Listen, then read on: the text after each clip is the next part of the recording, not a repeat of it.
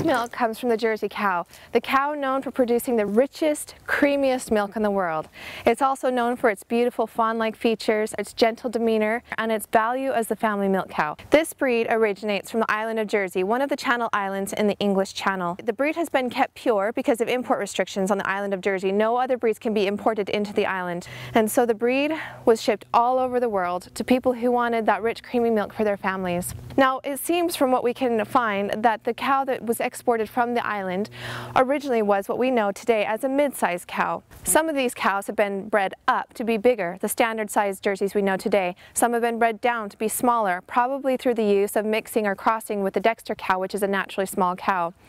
However, the records are far and few between. We haven't been able to find either shipping records or breeding records that go all the way back. And so it's a bit of a guess, but there is one farmer that knows a little bit about these cows and their history, and we've enlisted his help to tell us as much as he can about these little miniature jerseys.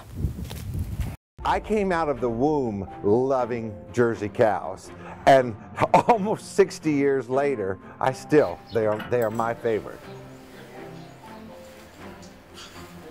You want to come in? Do you want to come in? Come on. When you have cows, they have to be milked every day. So your life becomes based around the cow, around milking times and feeding times. Because if the cow becomes the most important thing, and my whole life, biggest part of it has been based around a cow, or a milking, or a feeding, or something that needed to be taken care of. And uh, it's just, it's a way of life is what it is. So, it's a good life though.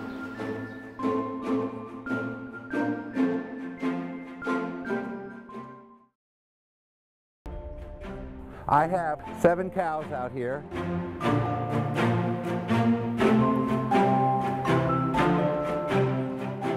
Sometimes we refer to them as girls. Sometimes we refer to them as ladies.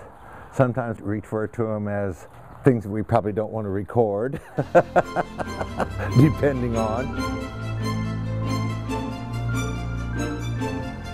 If you only have an acre or two, you should have a smaller cow, which stands to reason. That's another reason why these little jerseys are still as uh, marketable as they are today is they are a small cow. They're easier to maintain.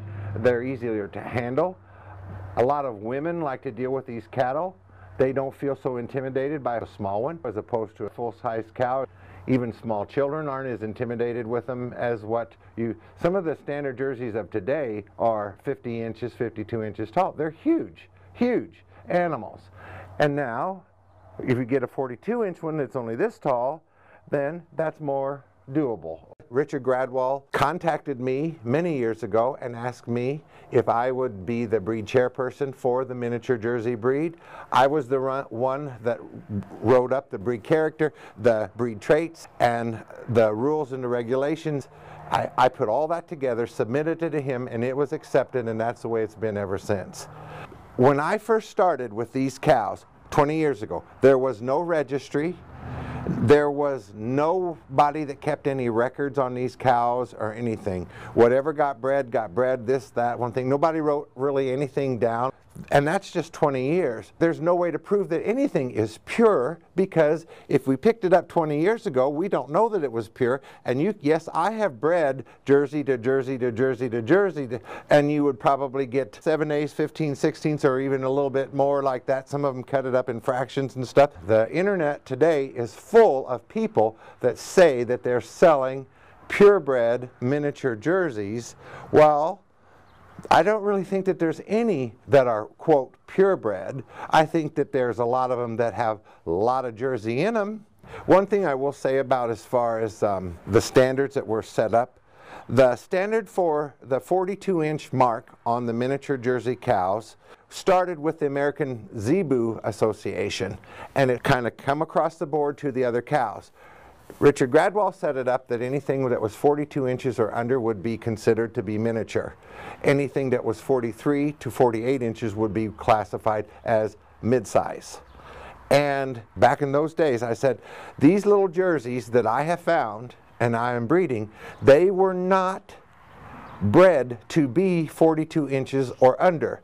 They range anywhere from 40 to 44 inches tall. I think I don't think that the jerseys should have to carry the same qualification as these new breeds that you are introducing because these cattle have been being bred this way for many years, just the size. He said he couldn't make allowances for just the miniature Jersey breed, so he had to do it across the board. I disagreed with that with him, but I never did convince him there's nothing wrong with a 44 inch tall little jerseys. They're still quite small, they're easy to milk, and they're easy to handle. So I don't really say, but I didn't get my way on that one, I'll say it that way, which I would have liked to, but I didn't get my way on that. So, so I've had to live with that. The miniature Jersey Bulls, most of the miniature Jersey Bulls of today are 42 to 44 inches tall.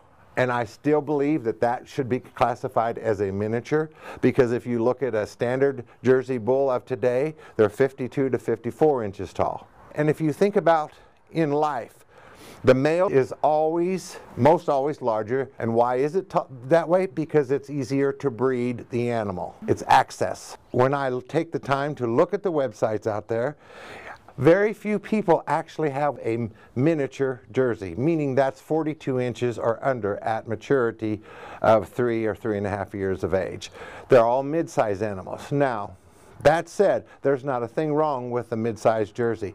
They milk just as good, they can be just as gentle, and they can be just as friendly as, they can make you a wonderful family cow. But let's tell it like it is, if it's a mid-size or a miniature. And then it all comes back to the pricing again. People will ask more for a true miniature jersey and they will command a higher price if it is everything it's supposed to be. Whereas the mid-size would bring maybe half that price and it, there comes into the dollars and cents of it again.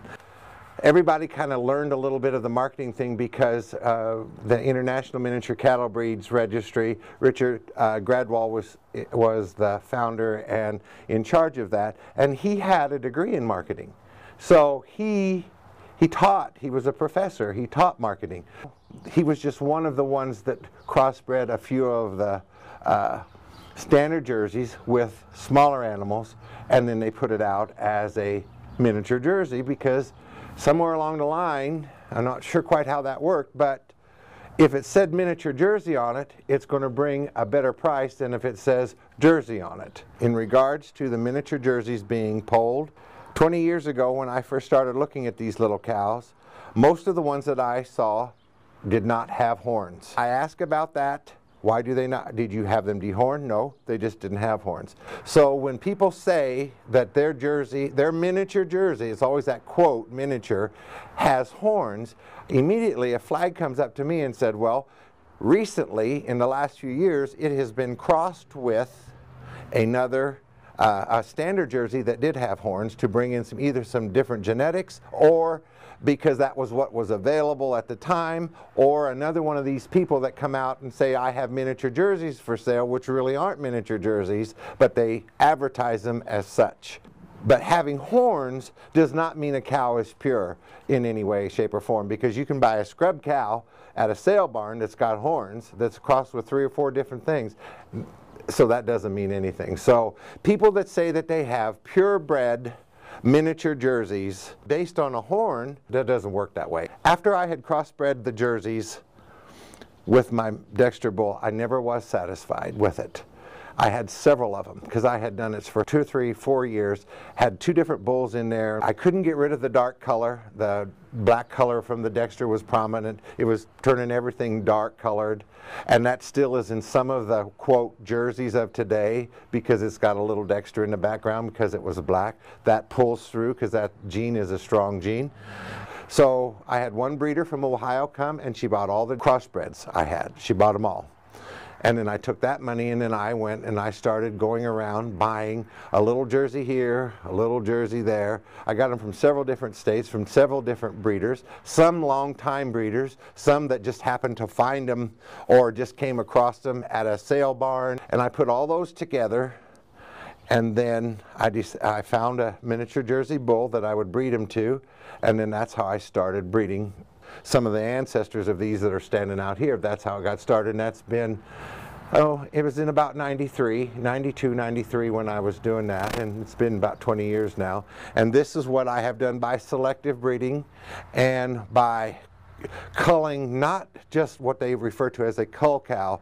I mean, I culled some really good cows because I thought if I'm going to get my name out there, you can't just sell the stuff you don't want. You have to sell a good cow. So Sell the good ones. Sell good ones. Let people know that that's a Dexter Corner cow. They'll see it, who they're going to call. They'll call Dexter Corner and say, I want one like so-and-so's got. See? I've worked real hard to get what I do have today, and I've let a lot of good cows go in the last few years because my cows are well sought after. My breeding program here, as far as the cows go, I like for my cows to have calves in the spring of the year, usually April or May, and I like calving season to be done with by the end of June. That way, all my cows are milking at the same time. When the calving time comes, I'm always there and I, I don't go anywhere during the calving time. I just feel like I want to be there. If, I, if they don't need me, I don't, I don't mess with it. But if they do need me, I'm usually right there. My cows all know me. They're not anxious when I'm in there, even when they're in labor. I can sit right next to them. Nothing worse than waiting nine months for a little calf and then the calf comes and there's a problem and then you get a dead calf. That's, the, that's not good. All my cattle wear collars. They come over here and they learn to stand tied. They also learn that I can grab them by the collar and lead them and put them just about wherever I want to do it. And we go through training on a regular basis, couple times a week, maybe three times a week they do that. And you do that for the first six months. That gives them their basic tra training. And then even after that, for the first year or so, you still have to bring them in periodically so they keep in that mode so you have control over the animal, especially if you're raising young bulls. Cows aren't quite as bad.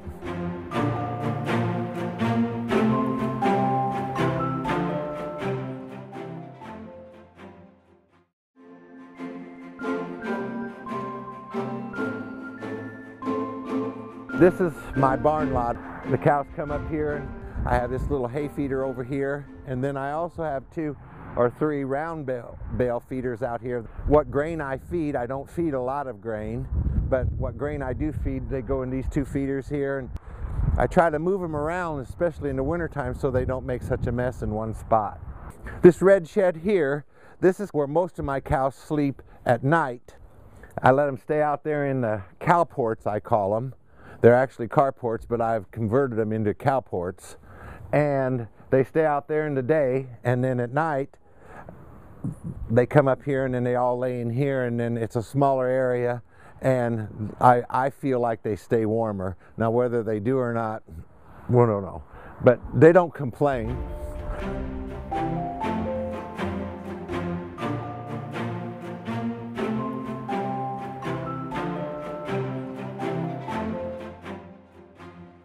How come your eye is watering today and your eye is closed? Did you poke yourself on a stick?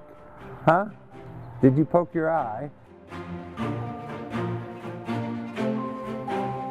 Sometimes some of that hay that I feed has got some stems in it and they get all rustled down in there trying to get to it and they'll poke themselves in the eye. Then they, then they got a weepy eye for a day or two and you have to keep an eye on it so it doesn't get infected. In the wintertime. I don't have to feed them as good a, quite as good a quality of feed as I do in, when they're producing milk. Now when it's really cold like it was this last week, I do give them some grain to just to warm their stomachs, if you will. And they have about as much hay as they want to eat.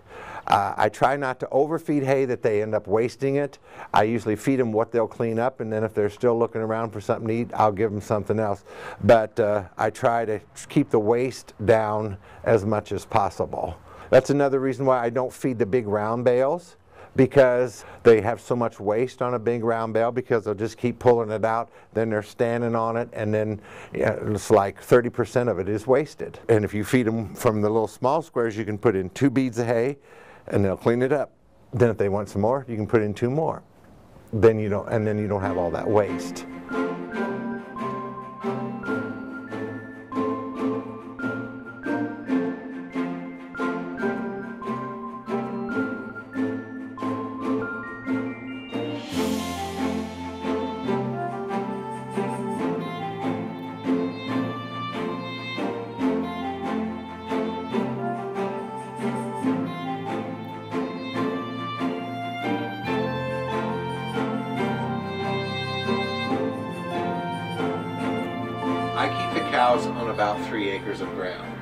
That's because that is what is, I have fenced behind the house where I can see them at all times. My workstation in the shop is set up so that I can look out my look in my mirror and look out the back window and see the cows. I always keep them in mind. Um, that way I know where they are and if they're okay. Um, that's not near enough pasture for the amount of cows that I have um, out there, so I supplement with hay all year long. I, I have free choice hay for them. They can eat it or they won't. When the grass is good, they don't eat too much. In the wintertime, then that's all hay. I like to feed grass and hay at the same time because when the grass comes on, especially this in the spring of the year, it's got a lot of water in it and it makes the cows real juicy. And if you're milking a cow, you don't want them to be juicy. You want them to have a, you want them to be firm. And that's important because that's like a big deal when you're in the milking parlor. You want a nice firm patty as opposed to soup. And if you feed hay and grass along with it, then that keeps them um, firm. You keep a nice little patty, it's easy to clean up, see? It's all about the poop anyway, you know.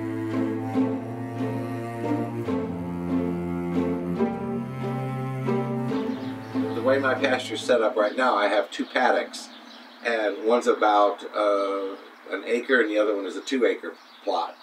And I let the cows go out on the one acre for a couple weeks, and they'll eat that all down, and then I'll take and I'll put them over, move them over in the other pasture, and then it'll take them about three weeks to eat that down.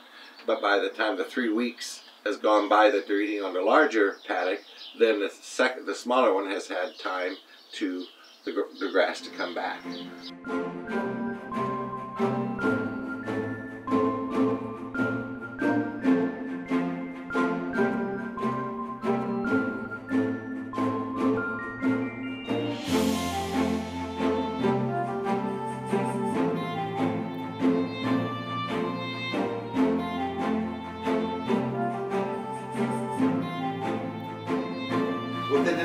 30 days, she should have all that winter hair shed, shed off.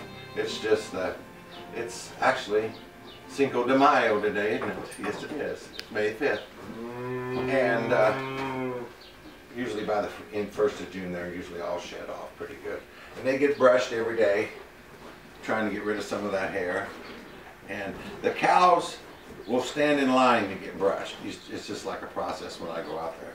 They will fight each other off to see who's going to get brushed first and the longest. Usually turn the cows out on the pasture about the 15th of April. This year I didn't turn them out until the 4th of May, and it made a lot of difference. It gave the pasture a chance to grow. We got a little better stand right now.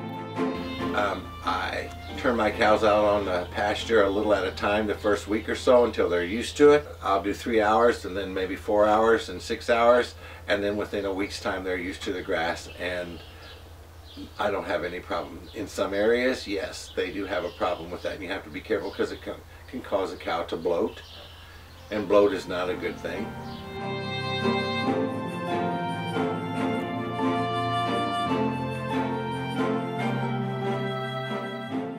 I've talked to people who have said that they had cows that they turned out on pasture and they bloated and they died, and I don't want that, so I just kind of watch them and make sure that yesterday I let them out for three hours on the pasture, and when they came in, they all looked like hippos. Their bellies were so big, and I thought, well, I think that was enough grass for you for today, girls.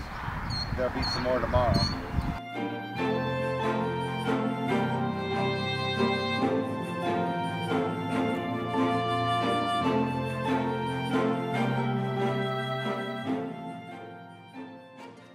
My father-in-law always, if he had a cow that would bloat, he would put a rope through their mouth so that they had to keep their mouth open, a thick, a heavy rope. And he would say they need to chew a rope. And actually they chew on the rope, but it keeps their mouth open for all night long, and then that gas comes out that way, see? But if you have one that's really bloated, then you need to get something done with that right away. In my opinion, poking a hole and let that gas out, that's a last ditch effort that you need to do that right away. But I've never done that, but I've seen it done. Thank goodness I didn't have to do it.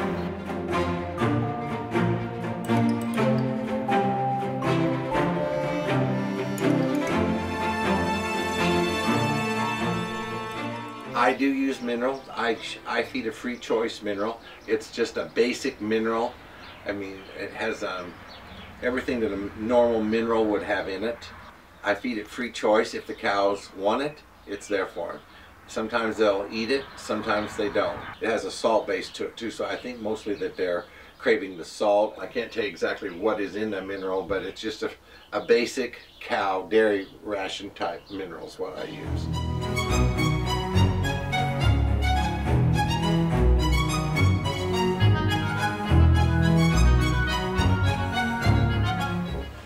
Usually within two or three days after they're born, I take the calves away.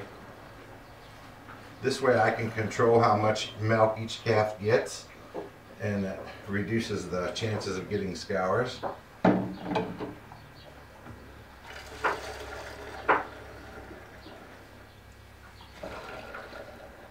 I've been feeding for the first six weeks of their the calves' lives. I feed them three times a day instead of twice a day. A lot of people just feed twice a day.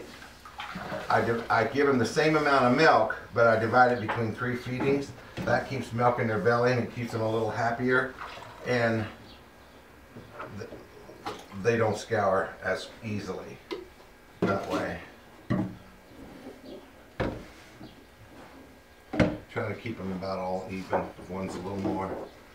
Since all three of these calves out here are all about the same age, I'm giving them about that much milk, which is about a half a bottle twice a day, or three times a day, excuse me.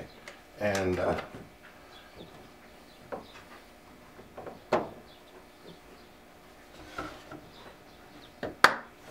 and I can say a whole mouthful about these rubber tips on these things, but probably ought not to do that. And then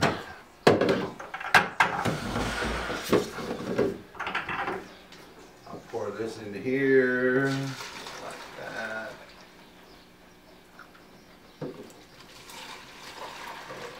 Then they'll be ready for my next for, for the rest of my feedings. I warm the milk until until it gets about 75 or 80 degrees outside. I warm the milk for them because it just goes down. It's just it's a little bit better, or I think it is.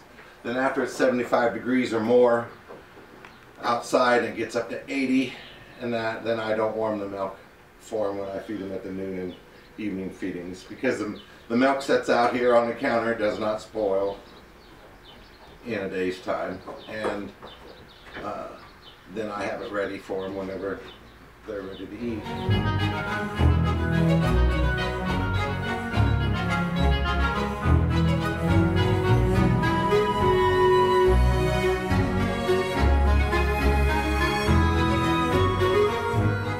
Raise my calves on a bottle until they're three months old, and uh, then I wean them, and by that time they're eating grass and hay and grain, and I offer hay to them uh, and grain and water from the time they're a week old. They have access to that. And some, some of them are fast to catch on to it and some of them aren't quite as fast. If their bellies are full of milk all the time, they don't take to the hay and the grain as much as they would uh, as if they didn't have quite as much milk. So since I don't give them quite as much at, at one time, their bellies get a little, aren't really stuffed full, and then they have a tendency that they'll go ahead and try the grain, eat the hay, and then they'll start drinking water. When some of them are two, three weeks old, they'll start drinking water.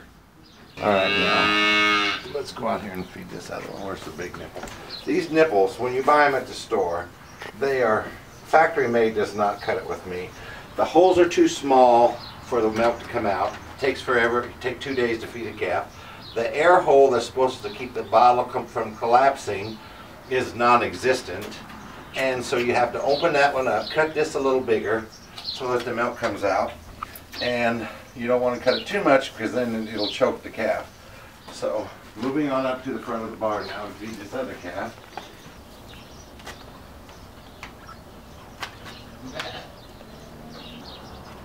There you go. Okay, now we have the, what I refer to as the sucking frenzy because once they go into the sucking mode, then that's all they want to do. So and they want to suck on your pants, they want to suck on your clothes, they'll suck your finger. It's like they'll suck on a, a gate, a wall. It's like, seriously?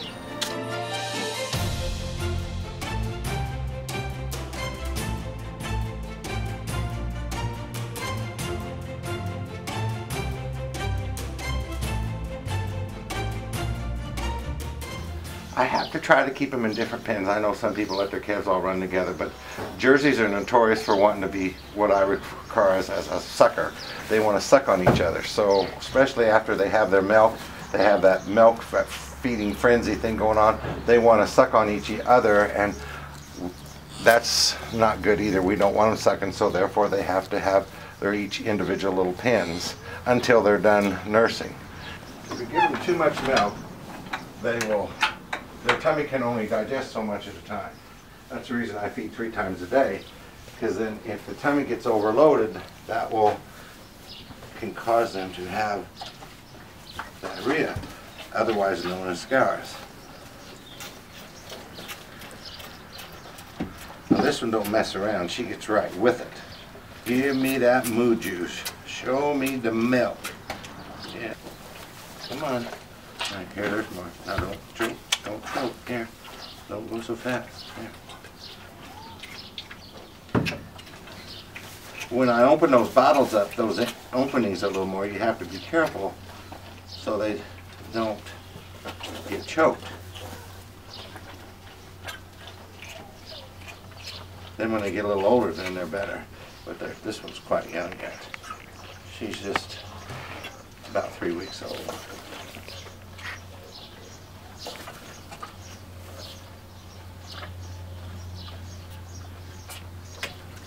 Yeah, that was some tasty stuff, huh? Mm-hmm. Get it. And see, I rub them because when a calf nurses, the cow will lick them all over, and that's how they get their loving from their mama.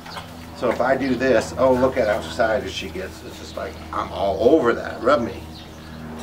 Yeah, it don't get no better. You're getting a juice and a rubbing. Mm -hmm.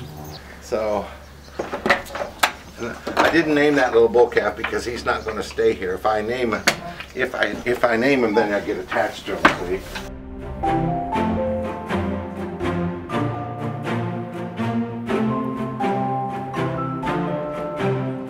I do not believe that all bull calves should be left as breeding bulls. Yes, I do believe that they should be castrated.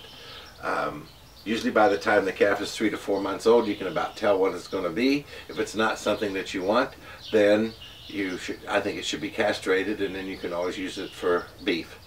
They will come eventually.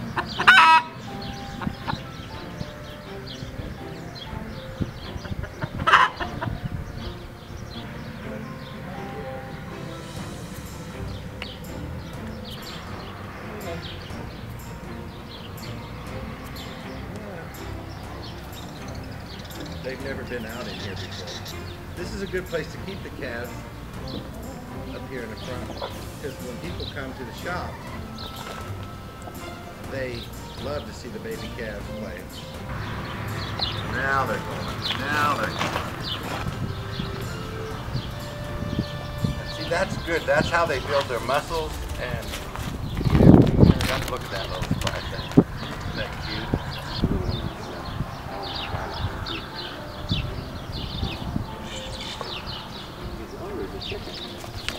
Huh, baby? Wait.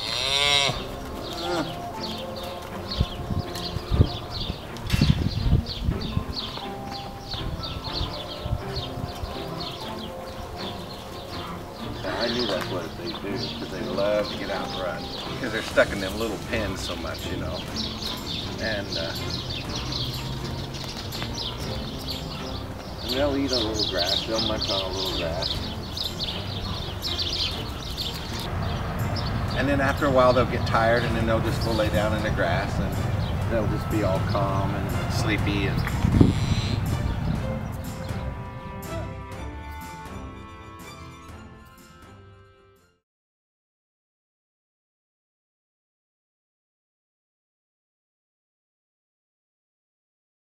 This is the milking parlor. I try to keep it as clean as possible. It gets a real good cleaning at least two or three times a year. And uh, I don't sell milk, but we drink the milk ourselves and I have friends that drink it and other family members and so I want everything as clean as possible when it's time to milk. The cows come in right here and then this is my little stanchion that uh, the cows come and put their heads in here and then we lock them in and I've had many people over the years take a, a design off of this and it seems to be work out quite well for them. I have a cow that's going to be fresh the uh, last of February or the first of March, and then we'll start milking again. So, but with all this snow that we've had in the last week or two, I'm glad we're not milking right now.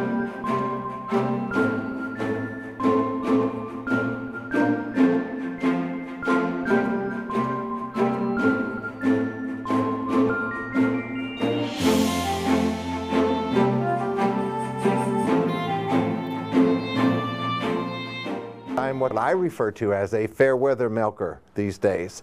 I've done it for about 40 years and now I like my cows to be fresh and when there's pasture they can be out in a pasture one thing or another and I'll milk them about five or six months maybe seven at the most and then I dry them off so that this time of year when it's sloppy and cold outside I don't have to go out and milk the cow. And now there are there are drawbacks to that because then you don't have that fresh milk to drink. But I've learned over the years that, yeah, I'm having to give up my fresh milk, but it sure is nice not to have to get up there when it's zero and go out and milk the cow. These are my tie stalls, and I can tie six cows up here. Usually I just tie the milk cows or the cows that are in milk here, and before I bring them in, tie them, get them cleaned up, ready to go to get milked. Usually have hay in front of them when I, before they come in to get milked so they'll stand. And then when it's time, I just let each one of them come loose uh, and they'll, they'll just follow right in and they know right where to go to get milked. And then when they're finished, I can bring them back out here and stand them tight again. And when I'm finished milking, I let them all out at one time. That way we don't have a, this one's standing at the door and this one's trying to come in and we have a, a confusion with that. Right now in the wintertime, the main thing that we do is we just try to keep everything fed, keep it as dry as possible, keep it as warm as possible, and uh, get through the wintertime. Then when spring comes, then that's a whole new ball game.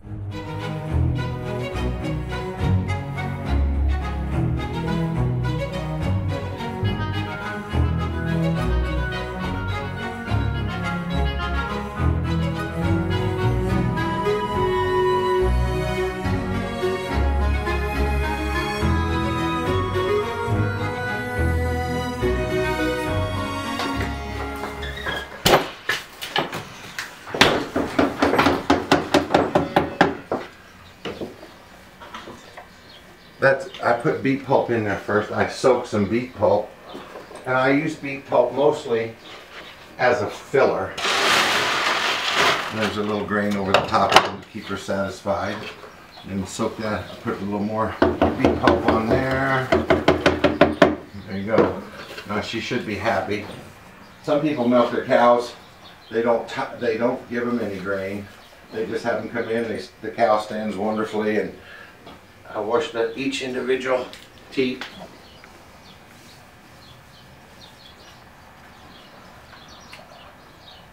Then I dry them off. I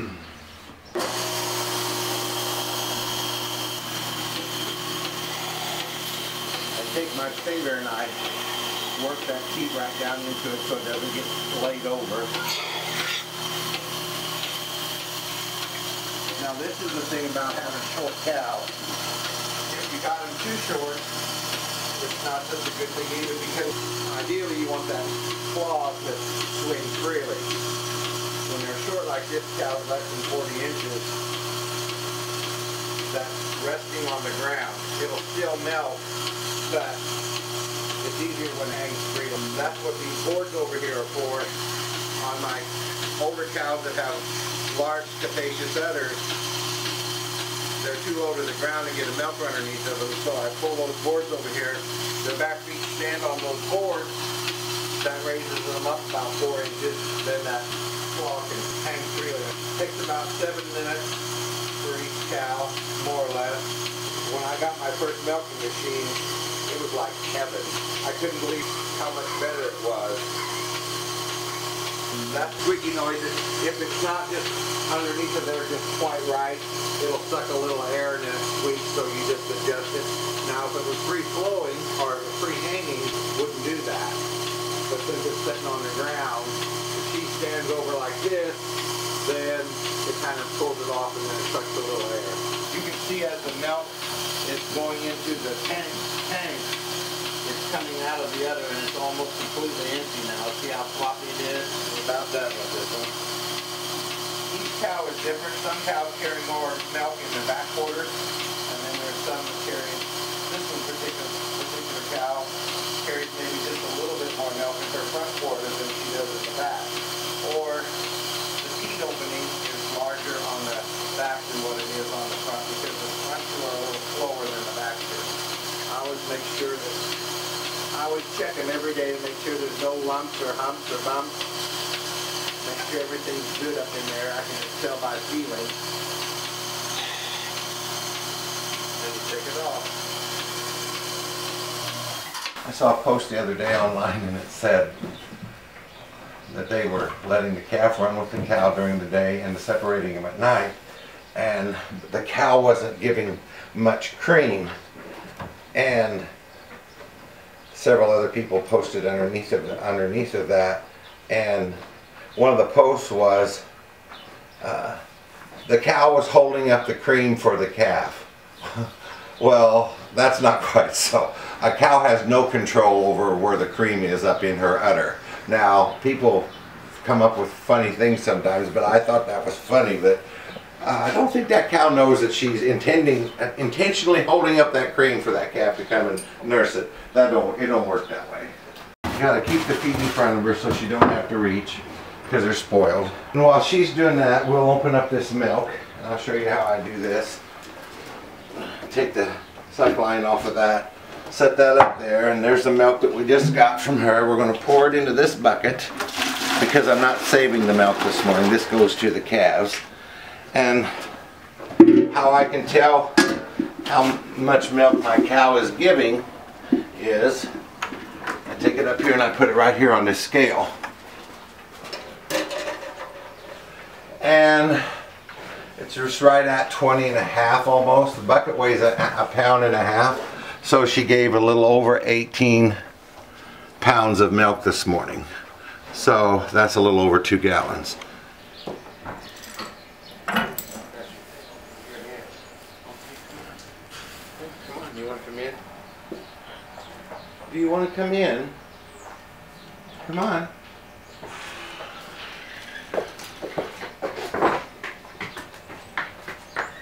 Come on, it's alright, it's not the first time you've been in here. Same process. Same song, second verse, same as the first, as they say. Right now they're pretty clean, so it's not doesn't take much to keep them clean.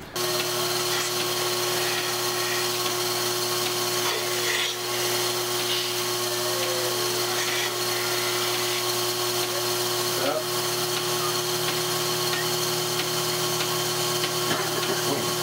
Now see how the claw hangs freely now? That's the way it's supposed to be. She does real well, and then all of a sudden she'll just get a little bit of a tooth, and the tail will start going like this, and then she'll just reach up there just nonchalantly and just go flip, and she'll try that not the number off. She's good at that. I don't feed a lot of grain. I just give them enough grain to keep them satisfied while they're eating. Because the more grain you give them, the more milk they're going to want to produce. And we don't need that much milk. She's a really easy milking cow. I mean, she milks out fast. Now she's really thin. She's a little thinner than what I like for her to be at this stage of her lactation. But I'm not going to push her very hard this year because she is just a two-year-old. When the calf is nursing, if the cow's not letting the milk down fast enough, the calf will butt the udder.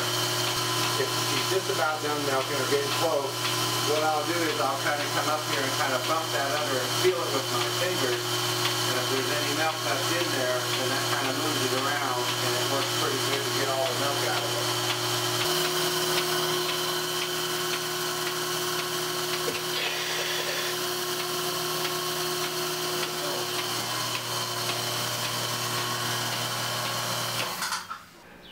I don't, in the summertime when it's dry, or spring now like it's dry, I don't use a tit dip. I use, but I always put a, like a, a, a cream, this is udder cream, mostly just to keep those, the teats soft and supple. And I put it right on each one. That keeps them from getting cracked. It's been really wet here and muddy, and you have to wash them, and that kind of dries the udder. And that's just what works for me. Now, in the if it's real muddy and sloppy, I do have tit dip that I use that is almost covers the, the end of the teat, but it's not got a soothing effect on the other like this does. Come on. No, see?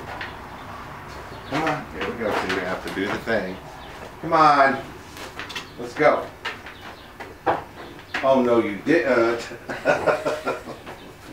Come on, let's go. You're done. Come on, let's go. Oh, seriously? Yeah, this is the that you just did. Yeah, hit the bucket. Hit it. Hit it. All right. You want to go out now? She gives a little bit more. A little bit. Not much, like a half a pound more than what the other cow did. You can't come back in. I'm so over you right now. There and eat some hay. The last couple years I have just milk once a day because I don't need that much milk. Milk comes as a supply and demand type thing. The more milk you take, the more cow, the cow will produce the milk up until a certain point where her genetics kick in and say that's all that I'm going to give. Milking these little cows is a lot different than milking a standard commercial type Jersey because the standard commercial type Jerseys are bred to, pr to produce anywhere from five, six, seven gallons of milk, eight even a day. Well, if, it, if you have a cow that produces that kind of milk, you would probably have to milk her twice a day. But on these little jerseys, their potential would be to, to produce maybe three gallons of milk a day. Then you can, that's not too much that the udder can't support that. A lot of people have to work off the farm. So the one time a day milking comes in handy for them because then they can base their milking either in the morning or the night or whatever works into their schedule. If you're only going to milk once a day, then you should milk once a day at the same time every day. I also believe that when you're milking the cow, when you wash the cow's udder, then she lets her milk down. You can just almost feel the milk come down. I believe that after she lets the milk down, you should go ahead and take all the milk and not just leave it hanging in there. Now I know some people do a cow-calf share, but I don't like that idea because if a calf is still nursing a cow, that cow's going to have a tendency to want to hold her milk up. She'll hold it for the calf. It's not natural for a human to be down underneath of their milking, but it's very natural for that cow to have a calf nursing on there. So sometimes some cows will hold their milk that way. I also don't like to let a calf nurse a cow because calves are always slobbering around on everything, you know, and they're eating grass and they're eating dirt and all this and they're slobbering it all over the cow. Uh, if the cow's not letting down enough, calves have teeth on the bottom. They can cut the teats. Then if you go to milk the cow and she her teats have got sores or cuts on them from that calf nursing, then that's going to make it harder for you to milk because she's not going to want to stand still for you to milk because it hurts. When you hand milk, you don't have the same amount of pressure on the on when you're milking the teats because your hands get tired or they kind of cramp or one thing and another. When you first start out, you're just really going to town at it. Well, then as you go through, your hands get a little tired, you get a little slower, you have a little bit different uh, uh, pressure on the teat. That'll cause the cow to kind of move and stand around. Whereas if you put the milking machine on, put it on, it's got the same pulsation all the way through it. So I'm glad to have a milking machine. I would not want to have to milk cows by hand anymore. I can strip them out a little bit, but I did, I've been there, I've done that. I got lots of practice in that years ago. I do believe that raw milk is better for you than the store-bought milk. It's not been pasteurized, it's not been homogenized, it's not had the additives into it and and all the words that you, I can't even under, can't pronounce them. I mean, you don't need all that in it.